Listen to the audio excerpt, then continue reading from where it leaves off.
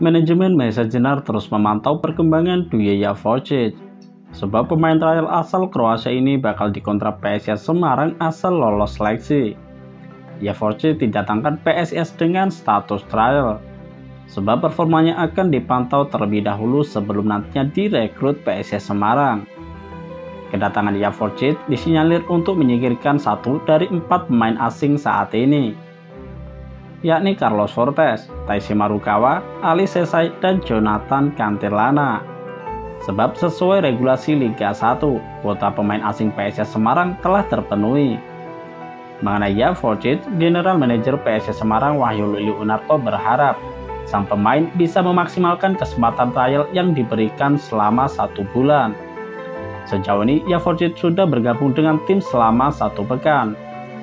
Pihak pelatih hingga manajemen juga terus memantau perkembangan performa mantan pemain Lazio U19 ini.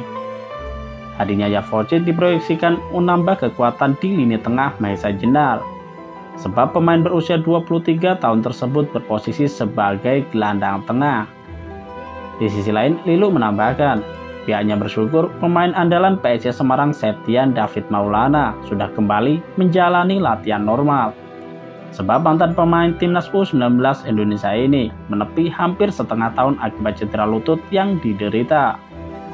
Tanya Septian, Carlos Fortes dan Rio Saputro juga berangsur pulih.